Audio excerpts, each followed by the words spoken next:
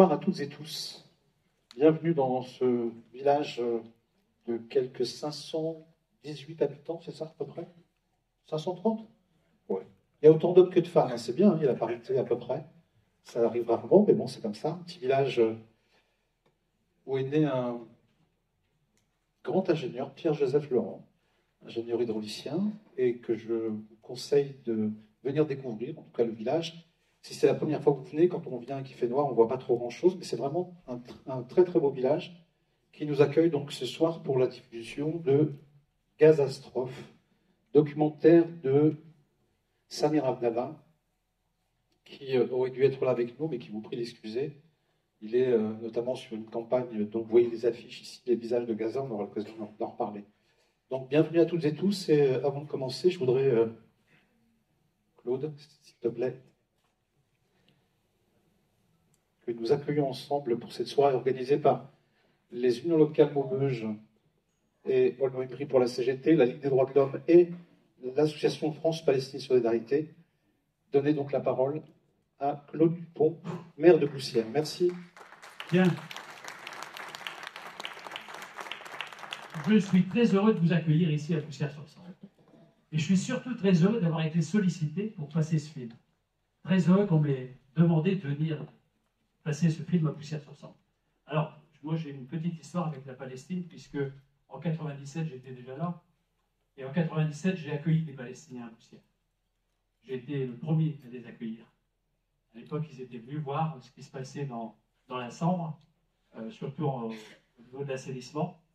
Et nous avons présenté tout ce qui se faisait aussi au niveau assainissement, puisque j'étais, moi, vice-président du CIPS à l'époque, le regretté CIPS, ça ne se passait pas comme maintenant, malheureusement.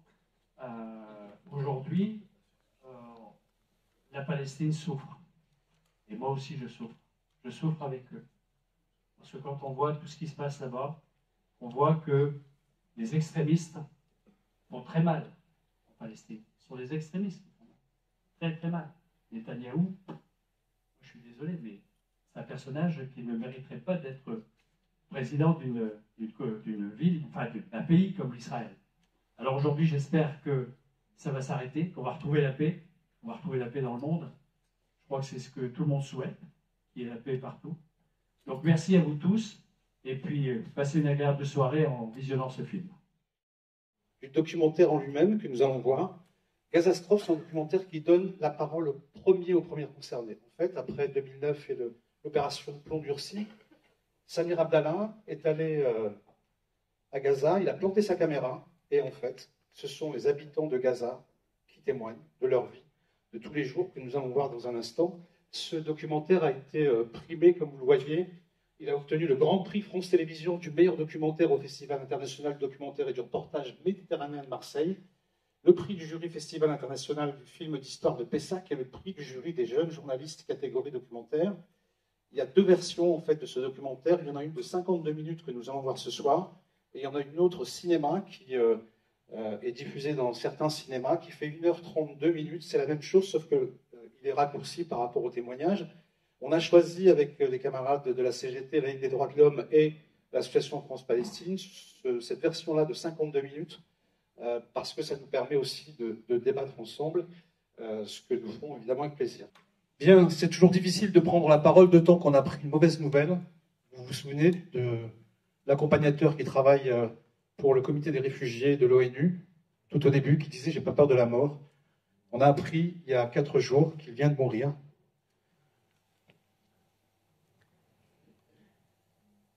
C'est lui. Khawad al-Khawadeb, qui était euh, l'accompagnateur, il est mort d'une crise cardiaque parce qu'il habitait à Khan Younes, qui est bombardé en ce moment, et il n'a pas pu être soigné. Et donc on l'a rajouté dans la campagne euh, Gaza des visages, pas que des nombres, parce qu'on en parle peu à la télévision, et quand on en parle, ce sont que des chiffres. Ces êtres-là sont des êtres humains comme vous et moi. donc il y a une campagne internationale, l'opération Gaza des visages, campagne pour réhumaniser les Palestiniens lorsque les médias mainstream n'en font que des nombres. gazadesvisages.com et vous en avez ici euh, quelques-uns sur euh, les carreaux. Et euh, on a fait un, un, choix pour vous en montrer trois. Omar Fares, musicien. On a aussi le docteur Bara Abou Elias et puis Hélène et Céline qui sont là. Ce sont donc des visages. C'est une campagne internationale à laquelle participe Samir Abdallah, le réalisateur. C'est pour ça qu'il n'est pas là Aujourd'hui, vous trouverez ça sur, euh, sur Internet et c'est important de donner des noms à celles et ceux qui euh, meurent sous les, bombardements euh, à Gaza depuis maintenant deux mois, mais on peut remonter à il y a 75 ans, puisque les, les Palestiniens ont vécu une, époque très, très importante qu'ils gardent dans la mémoire, qui s'appelle la Narba, la catastrophe. Et on a dépassé aujourd'hui en chiffres de déplacés et de morts ce qui s'est passé en 1948, après la création de l'État d'Israël concernant euh, le débat. On vous dira ensuite comment ça se passe, mais je voudrais vous préciser tout de suite que nous avons un photographe, donc euh, qui est là quelque part dans la salle, qui prend des photos. Il est là-bas. Et nous avons aussi euh, Lely qui est là pour, pour filmer. Salut le photographe, il nous fait coucou. Euh, Lely qui est là pour filmer. Bien entendu, comme on se connaît tous, ce qui est important, c'est de laisser des traces aussi de ce que nous faisons. Donc ce sera filmé, y compris dans les débats. Si toutefois vous ne voulez pas apparaître à l'écran, il n'y aura pas de problème. Mais en tout cas, Lady, merci beaucoup d'être là pour euh, le média MGL France. Voilà, merci beaucoup. Et donc, on va enclencher le, le visionnage. Ça dure 52 minutes. Et ensuite, on passera au débat.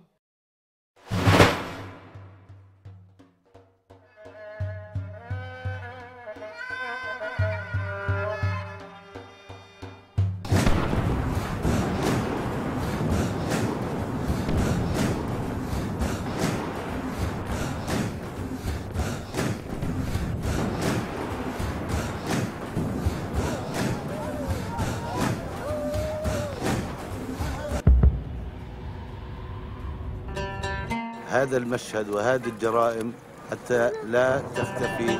هذه عبارة عن قرائن وأدلة تدل على مدى الإجرام من قبل قوات الاحتلال.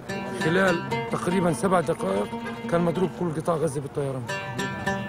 حجي كانت عندي حامل رايفيد ومرتي واولاد صغار يعني إحنا مسلمين طخت ثلاث بنات صغار آه وطخ أمي.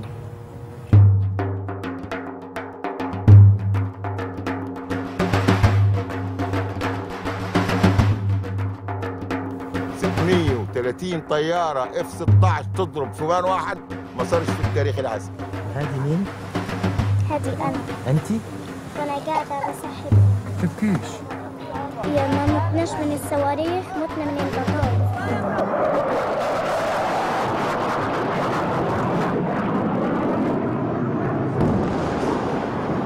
خذوا دمي صفوه من شراييني. خذوا عقلي ألحقوني بالمجانين وأعيش في الدنيا شريدا وأهيم في الدنيا شريدا ولا أبيع شبرا من فلسطين ولا أبيع شبرا من فلسطين Bien, merci à celles et ceux qui nous ont euh, rejoints. On va y aller très tranquillement pour débattre entre nous, euh, pour que vous puissiez un peu vous remettre de, vos émotions. Mohamed, tu viens? Bien. Après, ce sera vous bien, Mohamed. Mohamed Bouznan, qui est responsable du collectif de la diaspora algérienne des Hauts-de-France. Et l'Algérie et la Palestine, c'est lié. Hein. Euh, je rappelle juste que l'État de Palestine a été euh, créé, décrété en tout cas par Yasser Arafat en 1988 à Alger.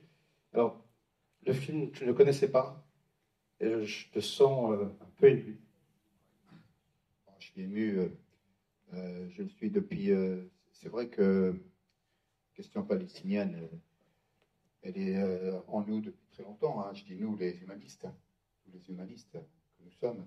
Mais c'est vrai que depuis deux mois, je pense que beaucoup d'entre nous, euh, quand on regarde des images, si on, certains éteignent leur télé, mais quand on regarde des images, ça nous empêche de dormir, tout simplement. on se réveille, on, a, on fait euh, des insomnies, on a du mal, parce que justement, on ne peut pas regarder ces images-là en étant hommes-femmes, normalement constitués, et repartir le lendemain, normaux, voilà, comme si on n'avait rien vu, comme si on... Non, c'est pas possible.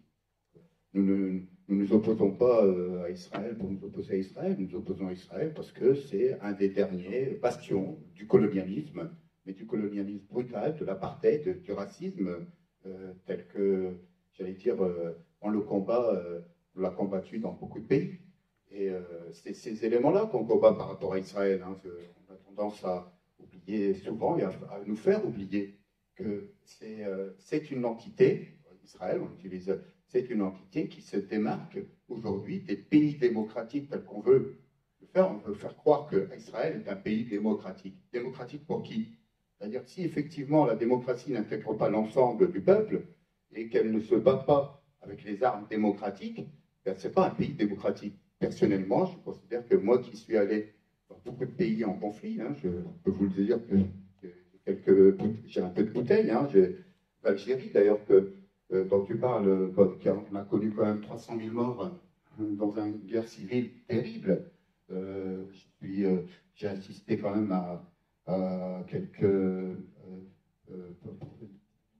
ici en Europe, je suis allé au Kosovo quand il y avait quand même la guerre du Kosovo en 99. Et euh, ce sont des situations qui nous marquent à vie. Aujourd'hui, quand on se bat par rapport à ce pays, c'est par rapport à la colonisation, à la, répression, à l'oppression d'un peuple et au massacre que nous vivons là aujourd'hui au quotidien. Donc rien d'autre n'est dans nos têtes. Nous n'avons rien contre ni. Euh, j'entendais le monsieur qui disait, c'est pas, il faut euh, faut pas accepter la notion de guerre de civilisation qu'on veut nous mettre ici, la guerre contre des, contre des religions. Nous, 99,99% des musulmans n'ont rien contre les juifs. Hein. C'est rien, aucun, bien sûr qu'on on veut tous vivre en paix. On veut nous faire croire qu'il y a une opposition. Mais c'est pas vrai. Qu'il y ait euh, quelques malades mentaux qui puissent euh, penser que euh, être juif, il, faut les tuer, ou réciproquement. Hein le racisme en France est essentiellement tourné contre les musulmans. Hein. C'est essentiellement les populations musulmanes qui subissent le racisme systémique depuis, la jeunesse jusqu'à toujours. D'ailleurs, en France, on pourrait en parler. Donc, un élément fondamental, ce n'est pas une question de religion, c'est bien une question d'oppression. Merci beaucoup, Mohamed. Il y avait quelqu'un qui avait demandé la parole là-bas. Donc, il y a des micros qui se, qui se promènent. Jean-Paul, vas-y. Non, je ne sais pas si j'ai une parole très autorisée, mais en tout cas par rapport euh, à la personne qui vient d'intervenir. Mais bon, ça nous concerne tous, bref, dans la mesure où ben, les questions de la paix, euh, forcément, c'est pas sans incidence sur notre vie, compris même nous qui sommes éloignés des, théâtres de conflit, comme on vient de le voir. Et euh, je crois que le film, le film ben, il laisse franchement, il laisse il laisse sans voix, quoi. On a du mal à, intervenir après avoir après la, projection d'un film comme celui-là. Euh, et mais je pense en même temps que il faut quelquefois ouvrir les plaies hein, momentanément pour pouvoir euh, les refermer ou espérer les, refermer un jour définitivement. Bon, ça fait 75 ans que ça dure cette histoire euh, dans cette région du monde. Bon, quand, quand, ça va s'arrêter, quoi Alors, à mon avis, ça ne peut s'arrêter que si euh, les citoyens s'en emparent aussi, si on fout la pression sur nos gouvernements pour pour qu'enfin euh, il y ait des décisions au niveau international qui soient respectées. Hein, euh. Ensuite, je pense que l'indignation, elle ne peut pas être qu'en sens unique aussi. Hein, on l'a dit, il faut, il y a des hommes de paix en Israël comme en Palestine, et je crois qu'il faut être sacrément solide euh, pour aujourd'hui, quand on voit ça, euh, continuer à se battre pour, pour la paix, quoi. Hein, euh, des deux côtés, hein, je, je, parle. Netanyahu, il était parfaitement au courant de l'attaque qui a été menée par le Hamas. Bon, moi, je pense que ça a été le prétexte. Je crois qu'il y a. comme comme, comme d'ailleurs Golda Meir avait, avait pu l'être, avoir été informé en 73, Hein, par les services israéliens, par les services euh, égyptiens. Je pense que, je pense que. Il y a des jeunes, hein, il faut le rappeler, en 1973. oui, mais moi j'ai connu quand même. Hein, quelques non, Je m'en souviens. Il y a beaucoup de jeunes qui ne savent pas qu'en 1973, il y avait des guerres d'équipement. Ouais, voilà. Donc, euh, et je pense que 50 ans après, euh, bah, rebelote, quoi. Et je pense que si derrière, je me demande s'il n'y a pas une connivence quelque part. euh, quelque part, s'il n'y a pas une connivence, ça les arrange bien tous les deux. Et puis on règle pas, le- on règle pas la question de fond, quoi, en fait. En faisant comme ça, peut-être. En tout cas, je me pose la question. En tout cas, une chose est sûre, c'est que Netanyahou a fait rentrer des extrémistes religieux dans son gouvernement, et ça, tout le monde le sait. Et tout le monde savait euh, aussi euh, que euh, Netanyahou et d'autres, en tout cas, ont freiné les cas de fer, parce qu'il y a une date importante aussi, c'est 1993, les accords d'Oslo, où pour la première fois, on demande à l'occupé de s'assurer de, garantir la sécurité de l'occupant, et ça aussi, c'est important. On a tous été heureux parce qu'on criait Aleha, Gaza, Jéricho, Gaza, etc. Mais en fait, derrière, euh, il y a eu quand même des gens comme, comme Netanyahou et d'autres qui ont freiné des cas de fer. Il y a eu l'assassinat aussi de, de Yitzhak Rabin. Bien, Saïd, s'il te plaît. Merci beaucoup. Saïd qui nous vient de juste à côté, pas loin. Saïd, merci en tout cas d'être là. Euh, D'habitude, tu, mets un kéfier, n'hésite pas. T'as pas trouvé qu'il y en a plus On a été dévalisé. Il y a tellement de. Mais le stand est encore ouvert. Il y aura du, du za'atar, mais pas de gazouz ni de, ni de hein. Je vous dis tout de suite. Pas de cacahuètes de, de, de, de- de boissons euh, sucrées. Saïd, le film. très émouvant. euh, voilà. euh, que dire euh, sur la politique de Netanyahou, Voilà. Celui qui veut nous faire comprendre que ben, qui est l'oppresseur, qui est l'opprimé, on en a un peu marre aujourd'hui. Je voudrais poser une question à M. le maire. Je suis quelqu'un de très sensible, c'est dans ma nature, j'ai été éduqué comme ça. M'ont enseigné ça et ça changera jamais et à vie. Donc si aujourd'hui, ma question c'est, euh, aujourd'hui quand on, veut dé- défendre la Palestine, quand on voit ce qu'on voit, c'est une réalité en fait. Moi, comme a dit le monsieur, je suis meurtri tous les jours. Je vais dormir, je vais coucher, mais je suis malheureux tous les jours parce que je suis quelqu'un de très sensible. Ce qui me choque le plus aujourd'hui, c'est de voir le mutisme des Occidentaux, des musulmans aussi, parce que j'en suis un. Je suis pas fier. Je suis fier d'être musulman, mais je suis pas fier de, voir le mutisme de tous ces pays musulmans qui entourent la Palestine. Au-delà de ça, je suis né en France, je suis français, on nous a inculqué une démocratie, une laïcité, je veux bien, j'ai cautionné, surtout en fait, je suis fonctionnaire. Aujourd'hui, mon message, c'est pourquoi je n'ai pas le droit de parler en fait. C'est ça en fait, mon message, c'est pourquoi quand on veut défendre la Palestine, quand on veut manifester, il y a toujours des droits de veto, on le voit sur les réseaux sociaux, on est antisémite, j'ai jamais été antisémite, par contre je serai toujours antisioniste, ça c'est une règle, c'est clair, c'est net, je ne dérogerai jamais là-dessus. De par mes origines, de par ce que je vois, il y a en Palestine, il n'y a pas qu'en Palestine. Je veux dire que des malheurs, il y en a partout. Les réfugiés ne sont pas qu'ukrainiens. Parce qu'on a l'impression qu'aujourd'hui, les réfugiés n'ont été qu'ukrainiens quand, je veux dire, les gens qui souffrent, ils souffrent partout dans le monde. Donc aujourd'hui, je voudrais dire à l'État français, pourquoi ce droit de veto sur la Palestine? On n'a pas le droit de manifester, c'est des amendes, c'est des ceci sur les réseaux sociaux. On est fiché, on est, on est bloqué, on est interdit de passer des vidéos, mais je ne sais pas, mais euh, à un moment donné, je voudrais dire, que fait l'État français? Pourquoi il défend cette politique de Netanyahou, de, de, voilà, de tout ça en fait C'était juste euh. Merci beaucoup, Saïd. Vraiment, merci. Je sais que tu ne représentes pas l'État, mais euh, la question qui a été posée, euh, je nous la rappelle collectivement, c'est mais qu'est- qu'est-ce que font les, autorités, on va dire ça comme ça. Et c'est important ce que je vais dire là, je, parle à un gaulliste.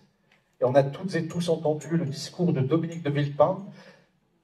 Je n'ai pas de parti pris, hein, je suis gardé nulle part, je vous le dis tout de suite, comme ça c'est clair.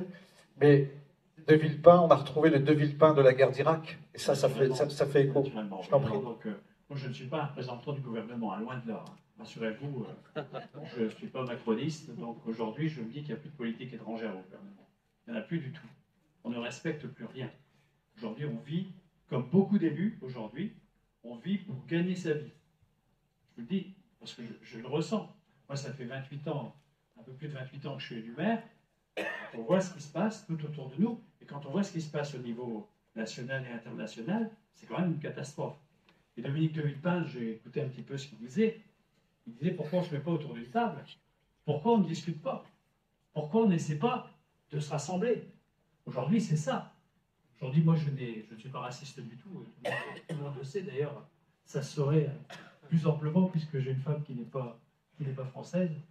Euh, donc voilà, aujourd'hui, crois qu'on a tous intérêt à se battre. Et je félicite la CGT d'avoir organisé cette soirée. Je les félicite parce qu'il aurait fallu que tout le monde s'approprie ça. Que tout le monde puisse dire, allez, on va organiser un truc. On va essayer de se battre pour la Palestine. Ces malheureux Palestiniens que l'on a vus aujourd'hui hein, dans, ce film, quand même, c'est destructif. Hein, aujourd'hui, quand on voit qu'on détruit toutes les maisons, toutes les habitations, qu'on tue des gens, qu'on tue des hommes, des femmes, des civils, des enfants, franchement, c'est choquant. Pour moi, c'est choquant. Donc moi, j'ai toujours été un peu, un peu hors course en politique. J'ai toujours fait le contraire de ce qu'on me demandait. Hein, depuis le début, c'est comme ça, mais c'est la vérité, tout le monde le sait. Euh, je suis pour la paix, mais je suis aussi pour l'humanisme. Je suis aussi pour le respect des hommes. Donc le respect des hommes, c'est à tous les niveaux. Que ce soit aujourd'hui entre Didier et moi, par exemple, euh, mais que ce soit aussi au niveau international. Si on ne se respecte pas, on n'y arrivera jamais.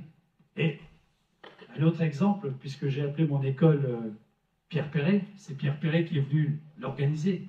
Qu'est-ce qu'il dit Pierre Perret? Mélangez-vous. Mélangez-vous. Eh oui, aujourd'hui c'est ça qui doit se passer. En dépit de toutes les religions, de tout ce qui peut se passer, mais aujourd'hui, ben, on, est tous, on est tous humains, on est tous des êtres humains, et on doit se respecter. Et je pense que la Palestine doit être respectée et qu'on doit se battre pour la paix en Palestine. Moi, je, à mon petit niveau, je suis maire d'une commune de 530 habitants. Alors, vous pensez bien que je ne vais pas pouvoir aller, aller loin, mais malgré tout, si je peux apporter mon petit centime à l'édifice, eh ben, je le ferai. Voilà, merci à vous. Merci Claude, vraiment, merci beaucoup. Parce que c'est bien aussi que les gens voient qu'il s'adresse à eux. Tu me rappelles ton prénom? Jamaletti. Alors bonsoir à toutes et à tous. Euh, déjà, je voudrais, je voudrais, dire que ce film-là, en fait, il est très triste. Moi, je suis, je suis, vraiment ému. Mais par contre, quand je vois la salle et les visages euh, qui sont devant moi, en fait, ça, me réjouit. Ça me réjouit dans le sens où euh, je ne m'attendais pas à ce qu'il y a autant de personnes d'une part, parce que j'ai eu la nouvelle sur les réseaux aujourd'hui, personnellement. D'autre part, il y a des personnes d'environ et d'horizons différents. Et ça, justement, c'est ce qui me plaît parce que ça montre que, en fait, le combat pour la justice, le combat pour l'humanité, en fait, c'est pas un combat euh, qu'on va mener chacun de son côté. En fait, c'est un combat qui nous regarde tous. Et je pense que chacun à son échelle, on doit justement, euh, on doit combattre justement pour plus de justice, pour plus d'humanité.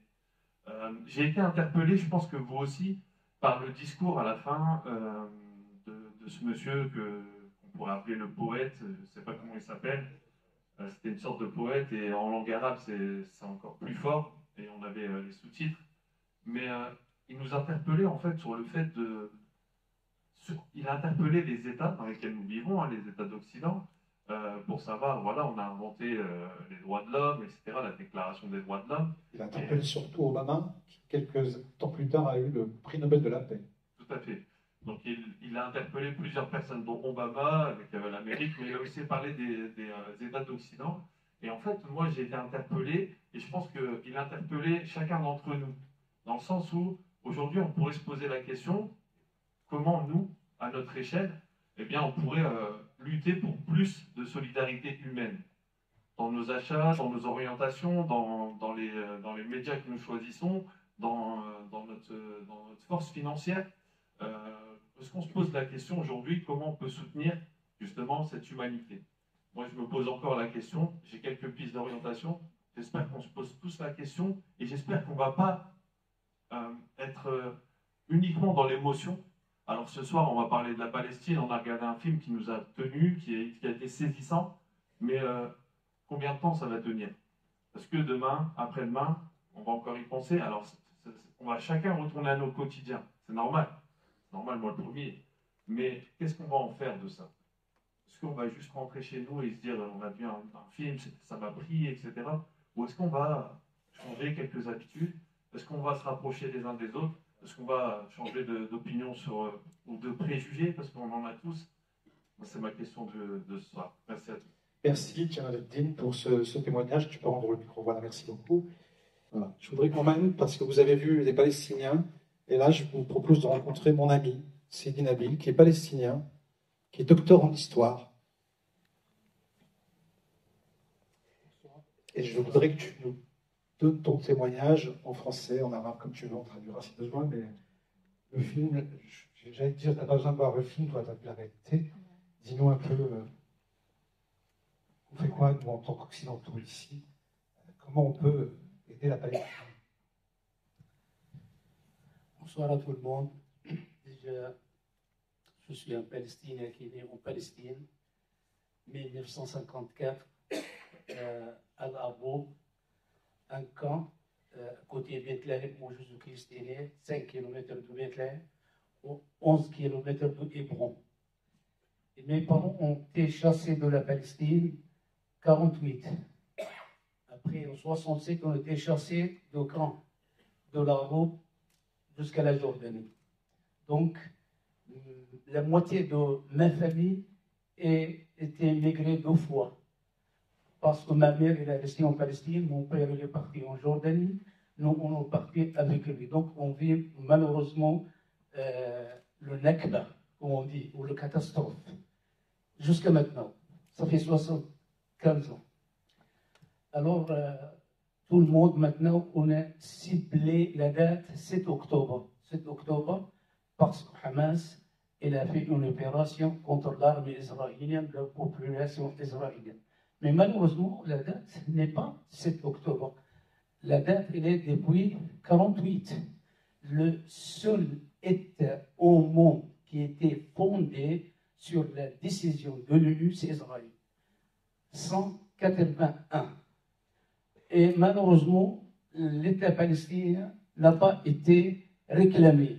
À ce moment-là, depuis cette date jusqu'à maintenant, le peuple palestinien, toujours, il souffre. L'image, elle part d'elle-même. Donc, euh, si on, malheureusement, ce qui se passe maintenant, c'est euh, une euh, punition totale pour le peuple palestinien, pour le problème palestinien, pour tout ce qui est palestinien. Elles veulent gommer les Palestiniens de l'histoire.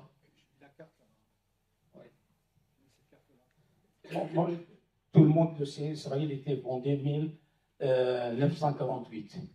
Après, il y a la guerre de 1967. Là, au milieu 67. Après, euh, ils ont pris toute la Palestine en 67 et le Sinaï est autour de Golan et jusqu'à maintenant. Donc, euh, le Sinaï a été rendu à l'Égypte parce qu'il y a un accord entre l'Égypte et Israël. Euh, on dit, malheureusement, à cette époque-là, l'Égypte est sortie de conflit.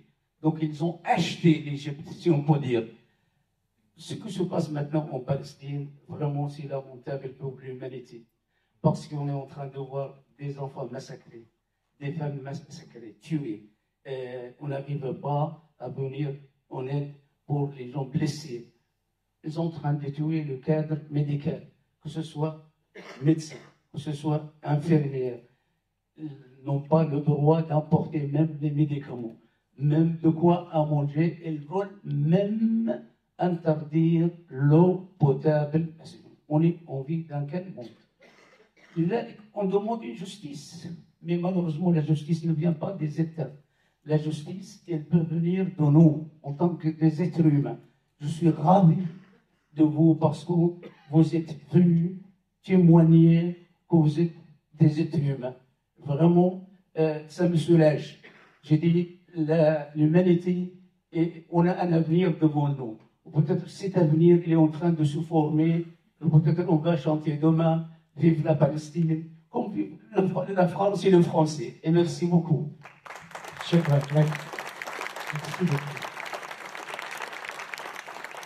Euh, puisqu'on a une seule boussole, et je parle sous le contrôle de mes camarades de la CGT et de la FPS, c'est la question, la question du droit, et notamment du droit international. Alain Ventroy est avec nous, euh, de la Ligue des droits de l'homme, de Tourcoing, juriste en plus. Alors, ce droit international, c'est ce qu'on a vu dans le film, tout le monde s'en fout, ou euh, il y a encore moyen de s'y accrocher, Alain, si tu veux bien.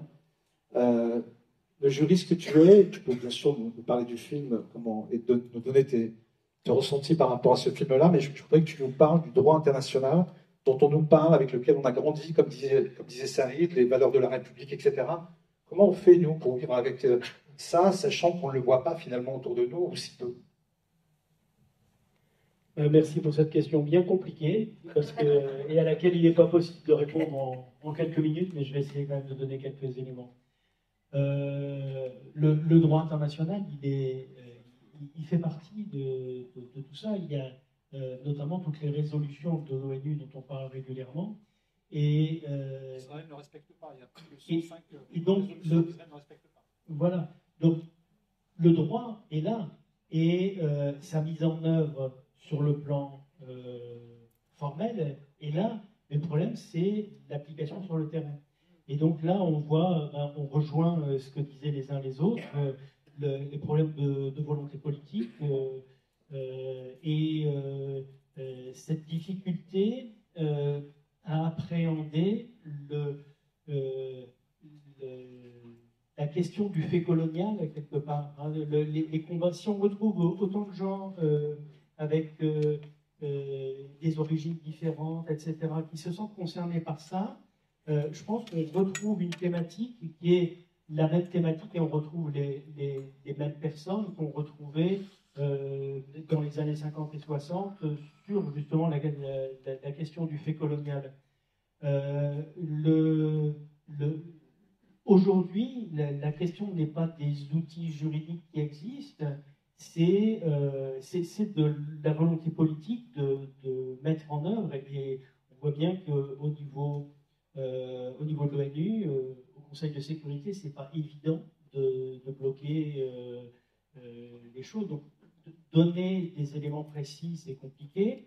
les choses nouvelles qui bougent depuis quelques années, mais qui ont quand même du mal à bouger, c'est au niveau de la Cour pénale internationale euh, les enquêtes euh, sur les, crimes de guerre, sur les crimes contre l'humanité, sur euh, certains organismes. Alors, ça, ça, avait été un débat entre nous au moment de la préparation de cette soirée sur la question du génocide, puisqu'en fait, elle est définie vraiment très précisément.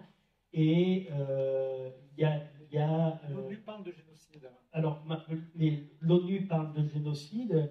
Euh, et aujourd'hui, des organisations comme euh, la FIDH, euh, donc la, Fédération internationale des droits de l'homme, auquel la, Ligue des droits de l'homme appartient, en parlent également.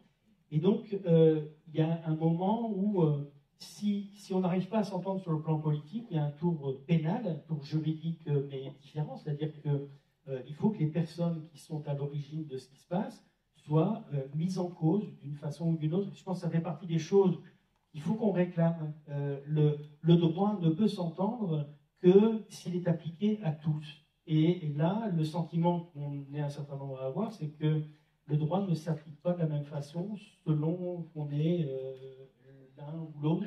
Deux poids, deux mesures. Voilà. Euh, donc, c'est un problème. Nous, à la Ligue des droits de l'homme, on est aussi très soucieux, ça a été rappelé tout à l'heure, à maintenir euh, l'équilibre dans nos combats et euh, à se méfier de toutes les dérives qui pourraient aller vers l'antisémitisme. Euh, tout ce qui est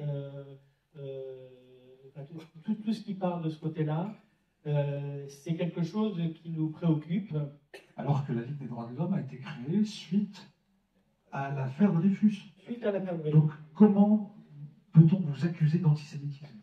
Non, mais en tout cas, Comment ce risque-là peut être. Euh, mais, mais, justement, euh, on, doit continuer à se battre et l'essence le, de, l'affaire Dreyfus, l'affaire Dreyfus, hein, pour ceux qui. Je crois que personne n'était né à l'époque. Euh, c'était en, en, 1894, un, petit capitaine juif qui avait été condamné pour trahison. et en, en, fait, ce qui, ce qui était dit globalement, c'était pourquoi on va se mêler de ça? Parce qu'en fait, ça se passe dans l'armée, donc c'est un truc qui touche ce qu'on appelait la raison d'État. On ne voyait pas pourquoi les citoyens allaient se mêler de cette affaire-là. Et puis, euh, et puis bon, c'était un petit capitaine juif et les Français étaient euh, bien antisémites quand même à l'époque.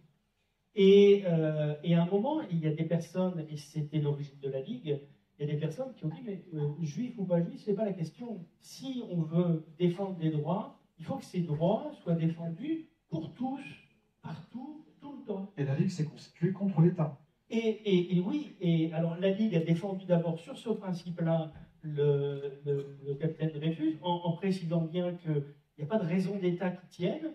Et après ça, elle s'est dit, mais si on, a, si on en a défendu un, mais notre principe, il ne peut être universel que si vraiment on va défendre tout le monde de la même façon, tous ceux qui sont dans ce type de situation. Donc ce combat est bien évidemment un combat qui, nous concerne, mais euh, dans, nos combats, on protège euh, toujours euh, celui qui est opprimé et on va défendre ses droits, mais jamais contre les droits d'un autre. Mais bon, cela dit, comme on le disait, il y a quand même deux poids, deux mesures dans l'application du, droit actuellement, et pas de miracle du côté du droit, si ce n'est qu'on constate ce, ce, renforcement de, de, la réflexion autour de la pénale internationale, etc., et que là, il y, a, il y, a, sûrement un champ sur lequel il faut se battre, et il faut que nos politiques dans nos pays ici prennent leurs responsabilités et mettent des individus devant leurs responsabilités pour que cette chose-là s'arrête. Merci beaucoup, Alain. Allez, Stalem. Bonsoir à tous. Moi, j'avais une question euh, par rapport au droit. Savoir euh, qu'est-ce qui va en être pour les, franco-israéliens qui sont engagés chez, chez Tsahab et qui, qui, qui participent au génocide. On va bien savoir, poser la question à un juriste, savoir s'ils vont être poursuivis euh, pour participation à des crimes de guerre, etc serait bien de savoir, parce que pour ce qui était de, gens qui partaient comme ça en Syrie, etc., voilà, là, ils savaient ce qu'ils fallait quoi faire, etc. Et là, apparemment, euh, il y a pas mal de franco-israéliens qui sont euh, chez Tsahal et qui combattent euh, à Gaza, comme le représentant qu'on a vu. Et moi, je trouve que ça, c'est scandaleux. un pays qui se dit la justice pour tous, etc. On ne commet pas de crimes de guerre, etc. Donc, c'est même de, s'y pencher parce qu'il y en a beaucoup euh, qui sont euh, les réseaux sociaux, etc. Euh, vas-y, on s'engage, etc. Et là-dessus, Merci beaucoup. on prie un petit peu pour que la plainte par Gilles de, de Vert qui a été déposée, je crois, à Lyon. Mais bon, pour une fois, on va peut-être finir par se faire traiter d'antisémite, et puis ça va tomber à nous. Question très claire. Merci beaucoup en tout cas. Quid des franco, des franco-israéliens partis se battre dans dans l'armée de Tsahal. Et après, on a ici aussi, juste depuis tout à l'heure, lève la main. Je, vous donne la parole, je vous en prie. Bonjour, alors, je suis un, camarade d'Alain, en fait. je suis euh, Philippe. Euh, je suis aussi à la lutte des droits de l'homme, à la Fédération du Nord, donc vraiment euh, merci, parce que ça fait, ça fait plaisir de voir autant de monde. merci à M. le maire. je trouve ça très très bien et très rassurant globalement, en fait, que les gens en fait, se préoccupent de ce qui se passe en fait, et veulent réfléchir là-dessus et prendre le temps justement de, de, mieux comprendre euh, et surtout de, voilà, de, sur la question du droit. Je pense que par rapport à la question que vous venez de poser, il y a une revendication de la Ligue euh, qui est le fait qu'il y ait une enquête euh, du tribunal international, hein, des enquêteurs qui soient dépêchés sur place, qui puissent faire la lumière en fait sur les crimes de guerre, de guerre qui ont été commis depuis longtemps. On a vu l'utilisation du phosphore, on a vu euh, là, depuis le 7 octobre, des hôpitaux ciblés, des populations civiles qui sont ciblées. Ça, c'est autant d'éléments en fait, qui requièrent, et c'est ce que demande la Ligue des droits de l'homme, qu'une enquête soit menée. Il ne peut pas y avoir de paix sans justice. Et ça, c'est une condition première. Et on est, nous, en soutien de ça, et euh, on souhaite que la population en France, en fait, revendique aussi ça, indépendamment euh, qu'on soit franco-israélien, pas franco-israélien, on veut dire que ça, c'est à la limite, euh, c'est pas la question. La question, c'est euh, qui, quelles sont les responsabilités, comment en fait faire en sorte que les gens qui ont commis un certain nombre d'exactions en fait soient effectivement en fait présentés devant les tribunaux. C'est extrêmement important. Je voudrais rapidement revenir sur la question du droit de la liberté d'expression. effectivement, il y a des départements en France, à Nice, où les préfets interdisent les manifestations. Je crois qu'on en est à au septième recours à Nice, en fait, par la Ligue des droits de l'homme, pour contester l'interdiction faite par le préfet d'organisation de manifester en soutien à la Palestine. on a un préfet qui est ce qu'il est. Je vais certainement pas lui faire de la pub, mais on a au moins la possibilité. À Lille, il y a encore une manifestation demain. En fait, hein. donc, euh, ça, ces éléments-là, bah, la FPS est là, en fait, hein. plein d'autres organisations sont là. Partout où on peut, voilà, pacifiquement exprimer euh, son, euh, voilà, son, non, son, son, angoisse par rapport à ce qui se passe, bah, là où on peut le faire, faisons-le. Hein. Ça, c'est un élément extrêmement important et que personne qui prend position sur cette question, quels que soient les partis qu'il peut avoir, en fait, ne soit taxé d'être euh, voilà, euh, antisémite ou euh, voilà, qu'on ne se jette pas déjà nous ici entre nous des insultes de ce type quand on essaie de comprendre et de parler en fait de cette situation. Tout dernier point, ce qu'on a fait dans les 15 jours qui ont suivi en fait hein, le, le, 7 octobre à Lille, c'est qu'on a invité pour une conférence débat un type extraordinaire, un monsieur qui s'appelle Henri Laurens, qui est un des meilleurs spécialistes qu'on ait au monde sur l'histoire de la Palestine et je pense que ça aussi, pour qu'on euh, prenne le temps de comprendre, faire ce, prendre ce temps de lire, hein, de se renseigner, de s'informer. C'est pour ça que je trouve que ce film, c'est super. Parce que c'est une des manières aussi de comprendre cette réalité-là. Hein, et, ça, c'est merci encore. C'est vraiment une super idée. Pour remercier surtout les, les camarades. Jeune homme, bienvenue. Il est beau ton kéfier. Tu vois, comment, comment tu t'appelles? Alors, je m'appelle Jihad. Oui. Euh, N'ayez pas peur, hein, Jihad, c'est Non, ouais, je vais commencer par là. Ah oui, tu fais exprès aussi. Non, c'est mon oui. point d'entrée. Alors, quand même qu'on explique. Jihad en arabe, ça veut dire l'effort. D'accord? Voilà, je fais l'effort de, je suis un moudjahid, n'ayez pas peur. Voilà. Voilà, c'est d'abord, et d'abord, en premier lieu, l'effort sur soi-même pour lutter contre- son ego et, et ses propres pulsions. Cela dit, on t'écoute, tu viens, tu viens d'où? Euh, je viens de Lille, du coup, je suis franco-palestinien. Euh, du coup, euh, j'ai été appelé parce que, en fait, tout simplement, mon père, qui est fort attaché à la Palestine de par sa natalité, de par aussi euh, son attachement au Fatah. Et du coup, euh, Jihad, ça vient de Abu Jihad, qui est un des fondateurs euh, du Fatah euh, avec Yasser Arafat et Abu Jihad aussi. Qui, sont, qui sont les trois fondateurs du, du Fatah, et mon père m'a appelé Jihad pour cette raison-là. C'est un beau prénom. Merci. Du coup, je connais aussi, euh, avec qui justement on, vient de Lille et, euh, qui est palestinien, euh, tout comme moi, sauf qu'il a eu la chance d'être né là-bas. Pas, pour mon cas malheureusement, mais fier d'être français. Euh, je voulais d'abord euh, essayer de répondre à certaines choses euh, que j'ai pu entendre. Euh, on peut déjà commencer par, euh, les actions qu'on peut, faire, qu'on peut, peut mener. Euh, on en a parlé, il y a aussi les actions de boycott, euh, le fait de boycotter euh, certaines entités qui, euh, qui aident, euh, qui aident l'État israélien euh, à, à nous bombarder, euh, comme Carrefour, comme, euh, comme Puma, qui sont solidaires de, euh, ben, voilà, de, de- de- d'Israël, comme HP aussi. qui- McDonald's. McDonald's, AXA, euh, HP qui, euh, qui aident pas, pas mal pour euh, espionner les Palestiniens, justement. Euh, je voulais aussi euh, répondre aussi sur le fait que la, mani- la- la manifestation est aussi utile, le fait de partager la cause palestinienne à certaines personnes qui ne connaissent pas la cause. On m'a- plusieurs fois euh, dit, mais ça sert à quoi de manifester? Ben, Déjà, à faire connaître la cause. Déjà, la faire connaître à ceux qui ne la connaissent pas. Parce qu'en France, euh, malheureusement, le conflit israélo-palestinien, on l'aborde, moi de mémoire, on l'aborde en cours d'histoire géo en première. Euh, on l'aborde pendant un ou deux cours. Et euh, médiatiquement, c'est un sujet qu'on aborde de moins en moins. Euh, on en a parlé par rapport à la liberté d'expression, etc. Je voulais aussi revenir sur, sur le, type de ce conflit. J'entends beaucoup dire que c'est un conflit religieux. Ce n'est pas un conflit religieux. Il faut savoir qu'avant 1948, euh, les trois religions monothéistes vivaient en Palestine. Euh, les, musulmans, les juifs et les chrétiens. Euh, Yasser Arafat lui-même avait demandé un État palestinien où vivaient les trois religions monothéistes. Donc, les Palestiniens n'ont jamais été dans l'exclusion de, la religion juive euh, par rapport à ça.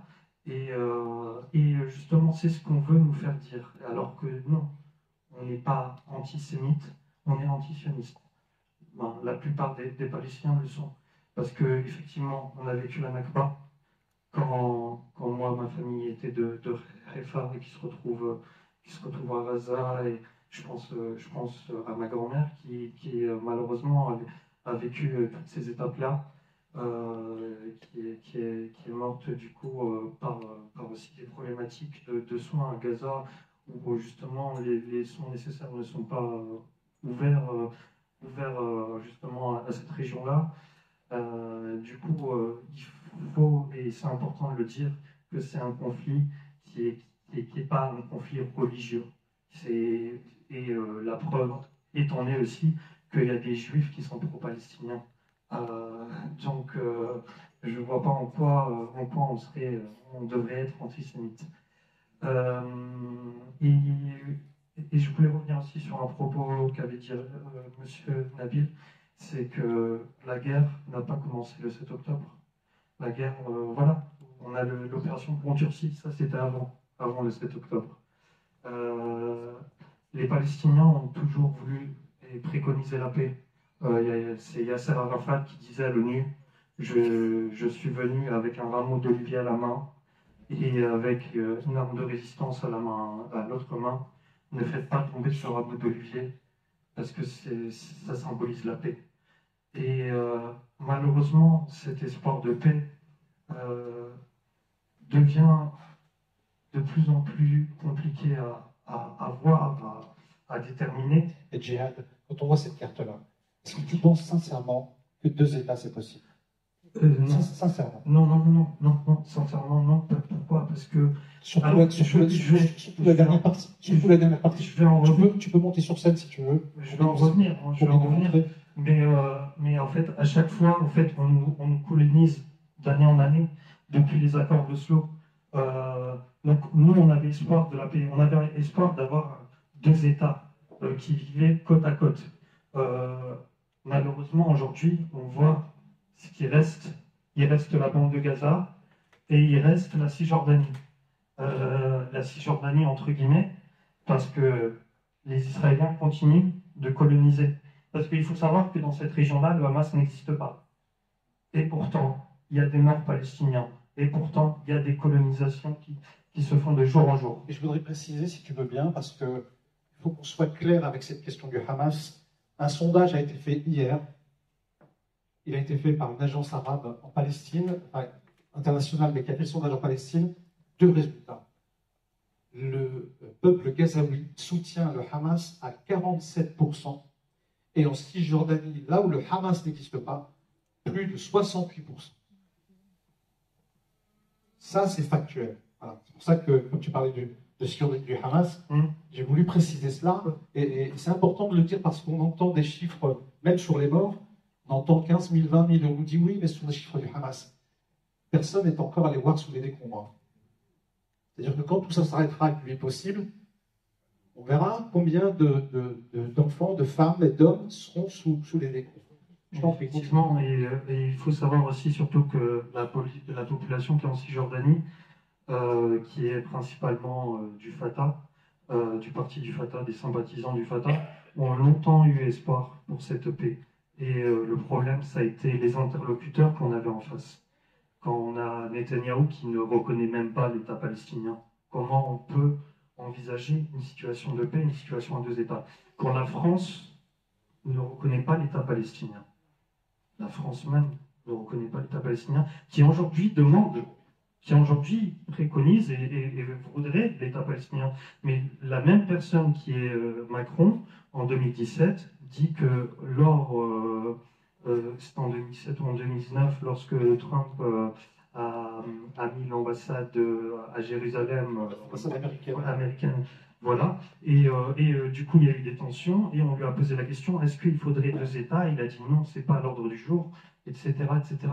Donc Maintenant, c'est bien facile de dire qu'il faudrait une solution à deux États. Mais sur quelle base? Sur quelle base? Euh, Surtout, surtout euh, moi je ne suis pas sûr que ce soit légitime, nous Français, à dire euh, nous voulons deux États, nous voulons un État. Je pense qu'il faut d'abord demander aux Palestiniens. C'est pour ça que je te pose la question. Clairement, là, pour l'instant, ce n'est pas possible. Pour, pour l'instant, ce n'est pas possible. C'est inenvisageable. Et, et euh, je reprends aussi, parce que c'est un propos important, euh, quand, quand il y a eu le partage de, de la Palestine en deux, les seuls qui n'ont pas été sollicités, c'est les Palestiniens eux-mêmes. On ne nous a pas demandé notre opinion, notre avis. C'est-à-dire qu'en 48, il y a eu les pays arabes, etc. Mais les Palestiniens n'étaient pas représentés. Donc, c'est aujourd'hui, en fait, euh, on, est là et on, subit, on subit chaque jour l'occupation. Euh, chaque jour, on nous prend nos terres euh, en Cisjordanie.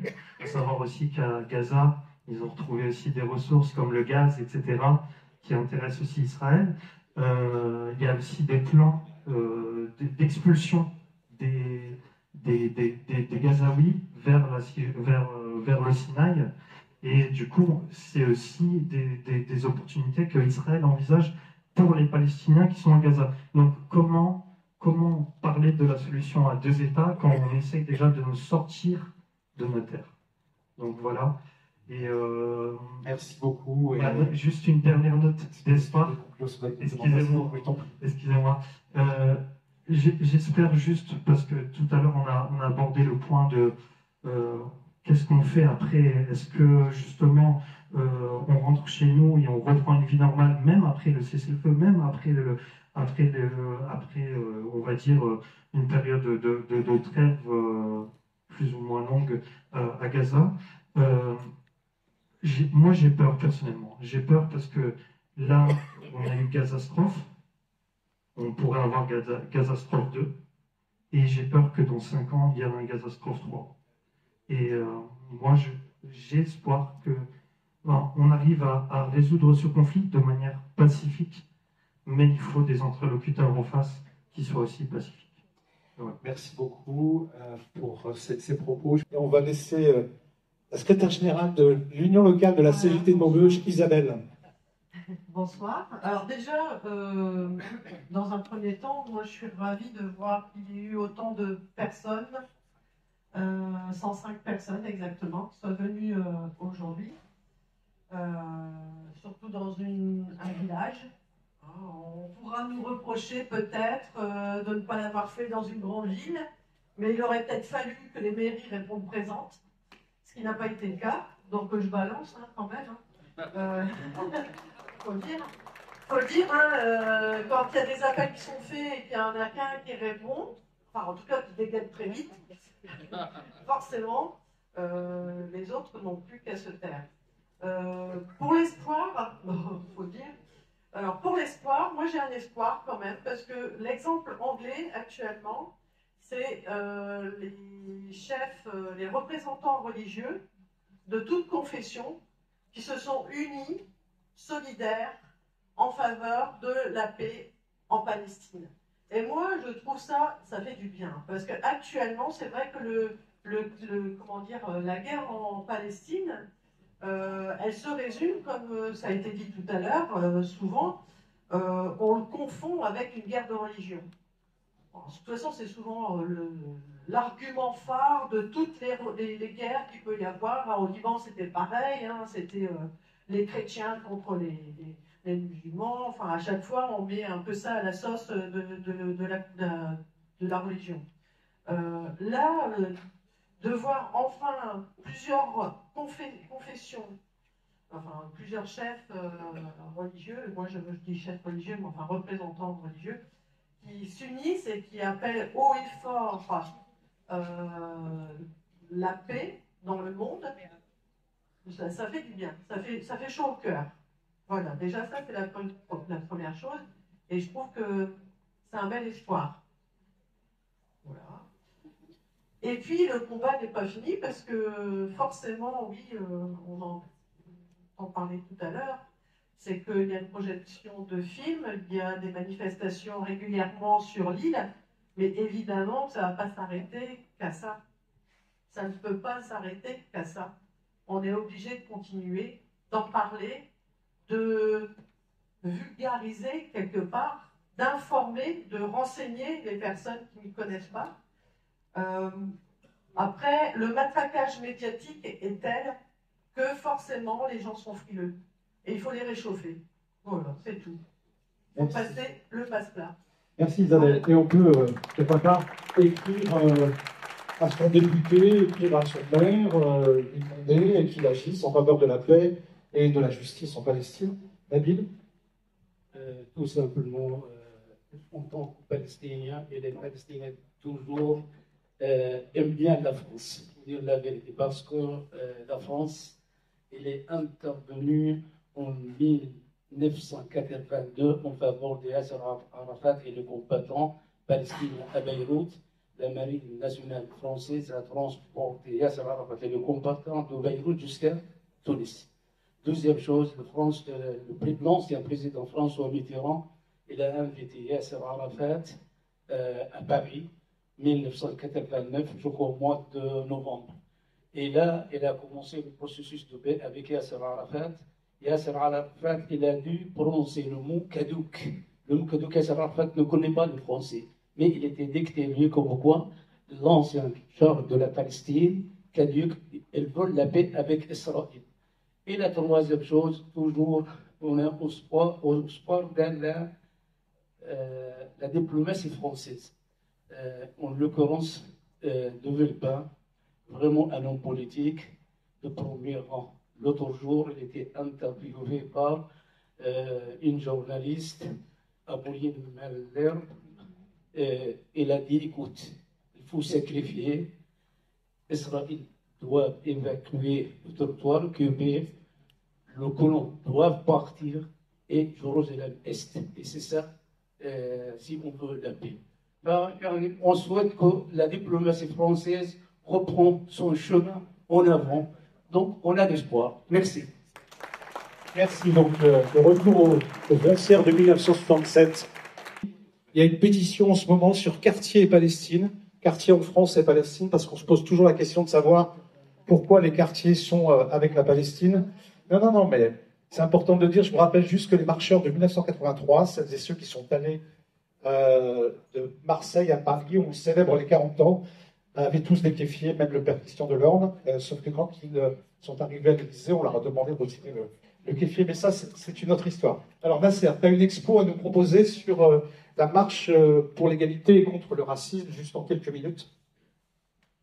Place publique a rejoint la coordination nationale euh, des 40 ans de la marche, hein, pour célébrer effectivement ces, ces 40 ans de marche de jeunes qui se déplacent pour revendiquer des droits civiques, l'égalité de traitement dans l'ensemble des quartiers de France et de Navarre. Cette marche a eu lieu effectivement à 40 ans. Ces jeunes ont vieilli, la plupart sont à la retraite, mais ils continuent de marcher. Et donc, ils ne désespèrent pas non plus d'avoir euh, une, une véritable égalité dans notre pays hein, pour l'ensemble des habitants, quels qu'ils soient, quel que soit le territoire dans lequel ils vivent d'ailleurs. Et donc, euh, cette expo est disponible aujourd'hui parce que je l'ai récupérée euh, récemment et je compte euh, effectivement, avec Place Publique, la faire tourner dans les écoles, dans les quartiers, dans les médiathèques. Là où on me demandera de la fixer, je la fixerai. hein, et on a donc des éléments support pour pouvoir en parler. Voilà, comme quoi les combats durent. On a évoqué effectivement euh, cette guerre israélo-palestinienne qui dure depuis 60 75 ans, mais le schéma, il est simple. Il y a un occupant, il y a un occupé. Euh, il y a des résolutions des Nations Unies qui ont été prises depuis euh, maintenant 75 ans. hein. Il y a un plan de partage qui a été fait également depuis 48. Ce qui me gêne, moi, en tant que citoyen, c'est de dire, mais c'est effarant. C'est une catastrophe ou une catastrophe permanente. Et quand ça dure comme ça, quand on est un enfant, qu'on est dans un, endroit, un territoire où c'est la guerre, euh, comment on grandit dans ce, ce champ Aujourd'hui, on, on atteint 70 jours de bombardement intensif. Et c'est pas juste euh, quelques coups de mitraillette, c'est des bombardements qui tombent sur un territoire avec des populations civiles. Moi, j'ai pas vu d'armée. Le Hamas, c'est pas une armée, c'est un mouvement de résistance. Et c'est ça qui est effarant, c'est qu'on nous habitue, de manière inconsciente, à être des, spectateurs et constater des dégâts énormes. Et donc, ça, je dirais, ça prive notre humanité. Effectivement, on ne dort pas tranquille. On ne peut pas dormir tranquille si la justice n'est pas faite. Voilà, bon, donc, Un débat dont, euh, Nadia, je voudrais que tu nous dises quelques mots, un débat sur les discriminations. Je sais que tu t'y attendais pas, mais euh, c'est pas grave. Nadia, s'il te plaît, parle-nous du débat que tu organises euh, avec les collèges sur la question des discriminations le 19 décembre. C'est bien ça? Cet homme vient, s'il te plaît. Voilà, un micro. Nadia Megadem, mesdames et messieurs. Alors, Nadia, il y a un débat, puisqu'on parle d'égalité de traitement, il y a un débat sur la question des discriminations, euh, et puis c'est un sujet que tu travailles depuis euh, quelques temps maintenant, et là, ça se passe au collège. Bonsoir tout le monde. Alors, euh, comme vous, hein, Chara va parler un peu du film, puisque je suis venue en cours de route, et vous dire que je suis très émue. Alors, moi, je, à la différence des autres, c'est que moi, je m'abreuve de toutes ces images, parce que je ne veux surtout pas tomber dans l'oubli et l'indifférence. Donc, il est important que des moments comme ce- celui de ce soir soient répétés et soient, j'ai envie de dire, inscrits dans le marbre tant que les conflits euh, dureront. Ce qui me désole aujourd'hui, sincèrement, et je vous le dis vraiment avec beaucoup de, à la d'humanité et, je parle avec mon cœur, c'est qu'au moment où on se parle, il y a encore des enfants qui meurent, il y a encore des mamans qui enterrent des enfants, et ça, ça me déchire le cœur. Je parlais encore ce matin avec une, un toubib et je lui rappelais quand même que des femmes euh, faisaient des césariennes sans, euh, sans anesthésie. Toutes les femmes qui sont ici se rappellent des accouchements, se rappellent des contractions, et je sais que quand on fait une césarienne, on s'en souvient toute sa vie. Je suis, euh, je suis aussi émue parce que je me dis, euh, on devrait être tous là, les élus, on devrait tous être debout. Ceux, Euh, ceux qui ne te connaissent pas, tu es élu. oui, je suis élue sur Vice-présidente euh, à l'agglomération. et à l'intercommunalité. Et je me dis, là où je me réjouis aussi, c'est de, de voir toute cette diversité. Ça veut dire que ça touche effectivement tout le monde. Mais à partir du moment où on touche l'humanité, ça doit toucher tout le monde. Et moi, je remercie vraiment tous les gens qui sont venus ce soir. Je remercie Moussa pour cette belle initiative et la CGT. Je suis pas très euh, syndicat, mais finalement, je me dis que puis, on en a besoin. Ah, ah, ah. Ça, ça fait plaisir. Vous voyez, un miracle, celui, celui de Noël, le miracle de Noël. Ah, ça, quand ils sont pas Vous êtes en Oui, non, mais Nadia, Nadia, dit que c'est quand même bien les syndicats, pas quand ils sont sur son dos. mais- C'est pas là. Voilà. Alors, revenir sur la journée du mardi 19, effectivement, euh, j'ai souhaité qu'on puisse. Alors, c'est- pas réellement le sujet des, des discriminations, parce que cette porte d'entrée, fait toujours peur, et encore aujourd'hui, puisqu'on travaille depuis 2015, ça fait encore peur, et c'est un sujet qui est tabou. Donc, on parle plutôt de l'égalité femmes-hommes, filles-garçons, et j'ai vraiment voulu, euh, souhaiter- enfin, j'ai souhaité qu'on puisse parler de la République. Ici, que ce soit à l'échelle locale ou à l'échelle nationale, on parle de tout. hein. On fait de la saucisse, on fait de la kermesse, on fait de tout, et jamais la République. Jamais cette devise qui nous réunit, qui, euh, qui- fait que nous sommes tous ensemble ce soir et qui fera que tous ensemble nous serons le mardi 19. Si vous souhaitez, vous êtes tous invités. Il y- aura un débat avec euh, M. Khalid Amdani, qui est donc euh, le président de l'association Éthique et Diversité sur Paris, et qui va surtout nous parler de tout ce qui nous unit, Et on nous parle toujours de nos différences, mais on ne nous parle pas de nos ressemblances. Nous sommes tous des hommes, nous sommes tous, nous avons tous un cœur, nous sommes tous conçus de la même façon, quel que soit ce que nous sommes. En tout cas, nous sommes des hommes et des femmes. Donc moi, vraiment, je remercie cette initiative et euh, on parlera de la République, faire en sorte aussi que nos jeunes puissent aussi avoir ce sentiment d'appartenance. On est chez nous, tous ici, quel que soit d'où on vient, l'origine, la culture, nous sommes tous chez nous parce qu'en ce moment, on entend beaucoup. Certains sont pas chez eux et, euh, et d'autres le sont. Moi, je me sens chez moi, je suis française, d'origine, certes, je, je pense que ça se voit, je ne pourrais jamais le cacher, même si je faisais teinture blanche, je pense que vous, vous le verriez. Et donc voilà, je ne m'en cache pas, c'est ma fierté, c'est mon patrimoine, c'est mon histoire. Donc voilà, en tout cas, merci à vous. Donc mardi 19 euh, au collège Jules Verne à 18h30. Venez nombreux parce que parler de la République, c'est vous, c'est moi, c'est tout le monde, tous ceux qui, euh, l'aiment cette République. Merci. Ah bon, oui, pense que On va terminer maintenant euh, dans un instant avec euh, Khadija. J'aimerais qu'elle clôt ce débat et cette rencontre. Mais avant cela, Khadija, donc, qui va nous présenter la FPS, l'Association France Palestine Solidarité. Avant cela, alors, je peux vous, attends, je peux je peux vous dire, mesdames et messieurs, on va tous l'écouter religieusement. Vous savez pourquoi? Il n'a rien dit du débat. Et d'habitude, d'habitude, c'est le premier qui prend le micro et après il ne le lâche pas.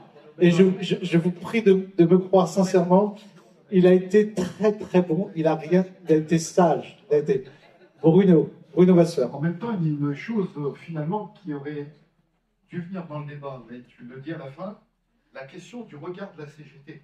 Parce que la question qui se pose, euh, qu'est-ce qu'elle fout la CGT là-dedans? Jean-Paul l'a dit. Il était fier d'appartenir à CGT. ça fait quand même 120 ans d'histoire. 120 ans d'histoire euh, de, de, de combat de la CGT contre l'impérialisme, contre le fascisme, contre le colonialisme. Et ce qui, ce qui est important aujourd'hui, c'est un peu ce que Bernard Thibault a, niveau de- a dit au niveau de l'Organisation internationale du travail. Et il faut faire le lien parce que les gens ne le font pas à chaque fois. Quand on s'attaque aux droits d'un peuple, on s'attaque donc aux libertés. Et on s'attaque on s'attaque à la question sociale, aux conquêtes sociales que les peuples, euh, que les peuples ont. C'est-à-dire, entre autres, l'importance aujourd'hui en France, je fais le lien, c'est qu'on s'attaque à des socles, le socle social, la sécurité sociale, les congés. On enferme même notre, notre, euh, secrétaire du nom euh, départemental syndical, Jean-Paul Delesco, pour apologie du terrorisme. Ça n'est pas pour rien. Au début, nous sommes aujourd'hui, moi, alors après, on je considère qu'on est en 39. On s'attaque aux libertés, aux droits des peuples, aux droits sociaux. Et c'est ça qui est dangereux. Aux droits des travailleurs. Aux droits des travailleurs, de tous les travailleurs d'ailleurs.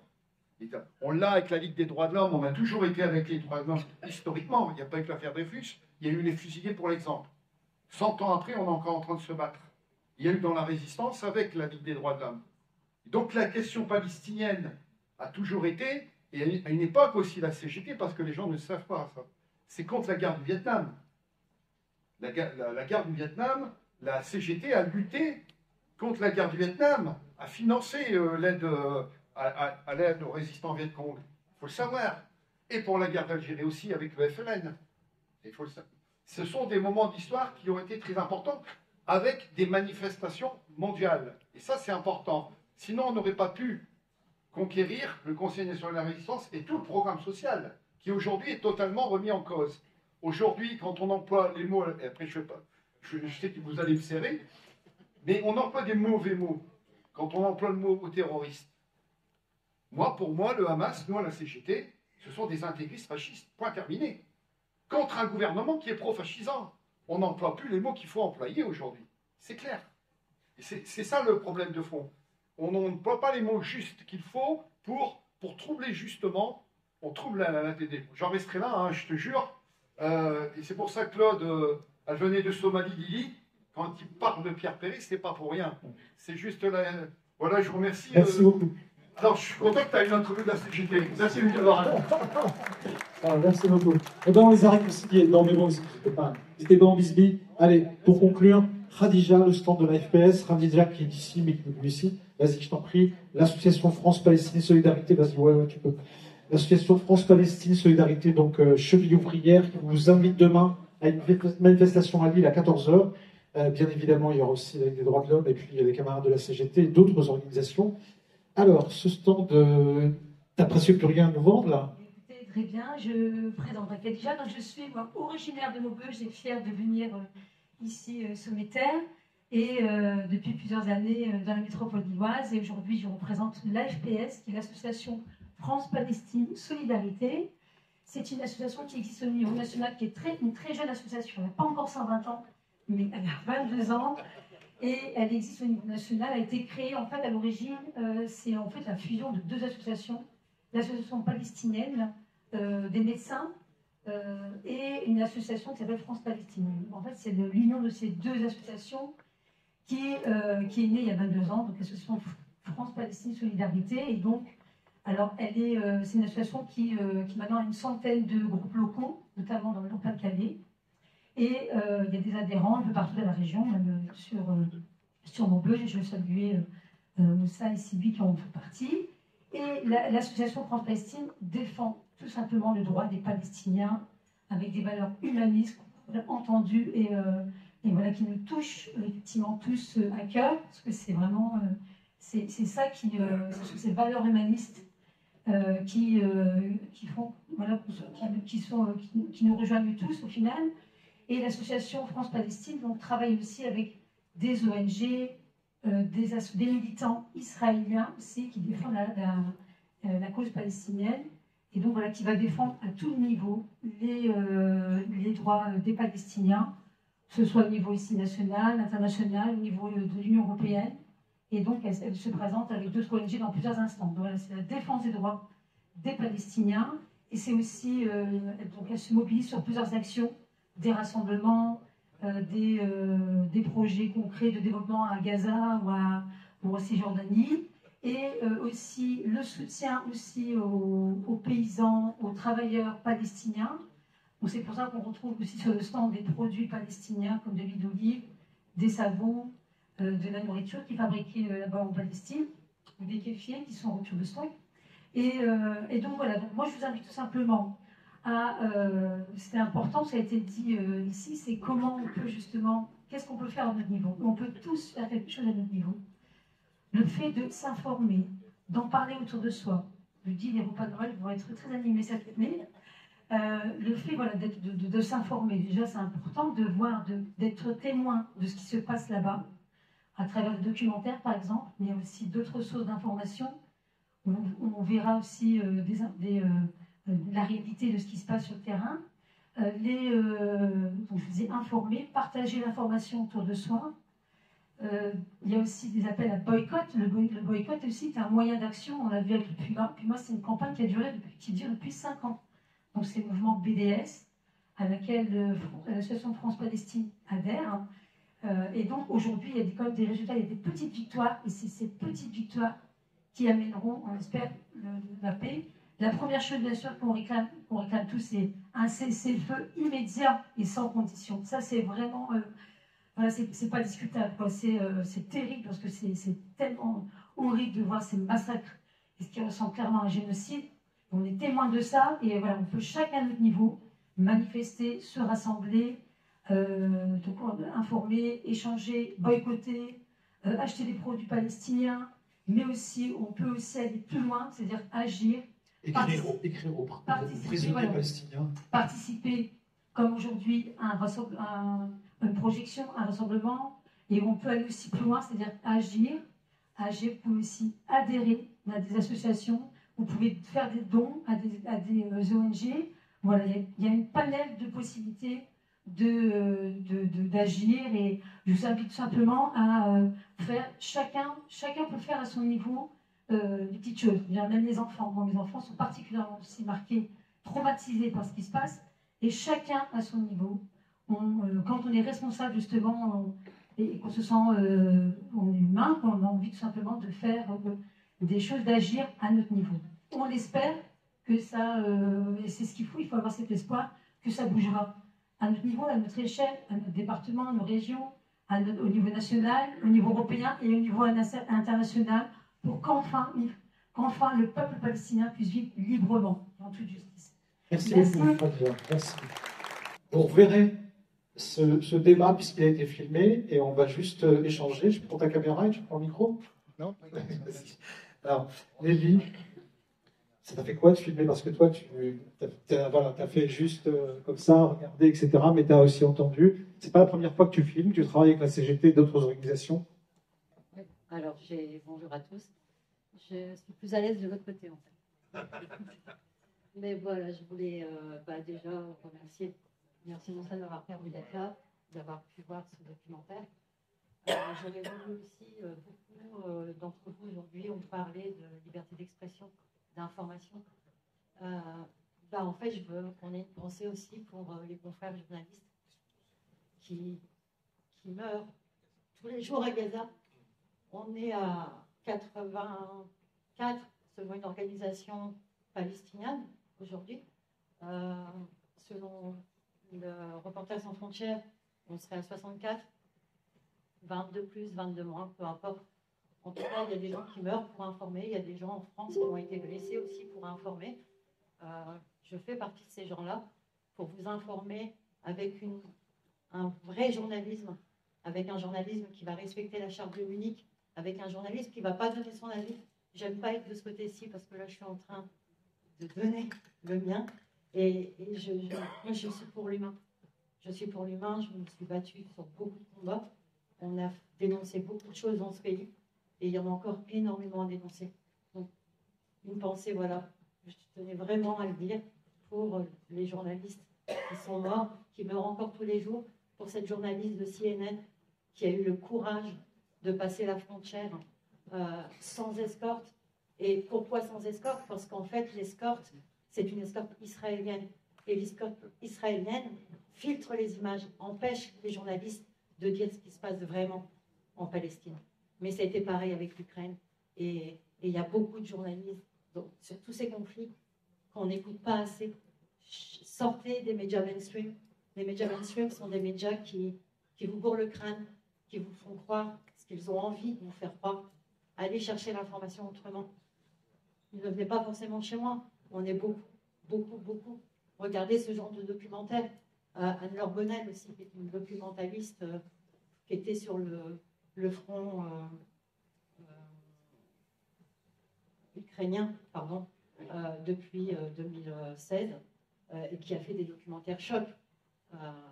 maintenant, voilà, c'est ce journalisme qu'il faut soutenir et, les, confrères palestiniens qui meurent tous les jours pour vous donner cette information, pour vous donner les images que vous avez vues aujourd'hui. Merci beaucoup. Merci beaucoup, Malgré Merci, Lévi. On vous dira où est-ce que vous verrez. On va travailler, euh, Lévi va travailler sur le montage avec son équipe, le montage de ces débats. Il y aura d'autres rendez-vous. La FPS là-bas, le bar là-bas, la Ligue des droits de l'homme. Si vous voulez laisser vos coordonnées, je suis preneur. Attendez, comment ça va déjà? C'est moi qui dis que c'est. Ouais. Bon, c'était bien ou wesh Non Franchement, ça vous a plu Allez, on termine en chanson. Un petit karaoké pour mettre de bonne humeur avant le bar. Ça vous va Allez. Qu'est-ce qui vient chanter avec moi Bien Allez. J'avais besoin que reste l'histoire d'un amour. Je croyais vivre c'est l'histoire d'un beau jour. Que moi, petit enfant, je voulais être heureux. Pour toute la planète, je voulais, que la paix règne pour ce soir de Noël. Mais tout a continué, mais tout a continué, mais tout a continué. Non, non, rien n'a changé. Tout, tout a continué. Non, non, rien n'a changé. Tout, tout a continué.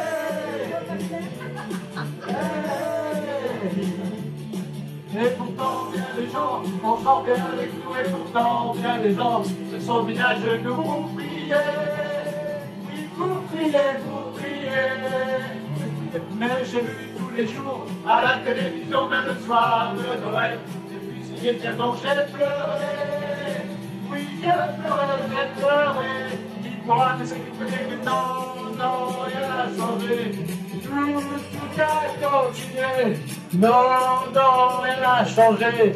Tout, tout a continué. Hey. Moi, je pense à l'enfant. Entouré de soldats, moi, je pense à l'enfant qui demande pourquoi tout le temps. Oui, tout le temps, tout le temps. Moi, je pense à ça, mais je ne devrais pas ces hommes-là. Ne regarde pas et pourtant. Non, non, non, rien n'a changé. Tout a continué. Non, non, rien n'a changé.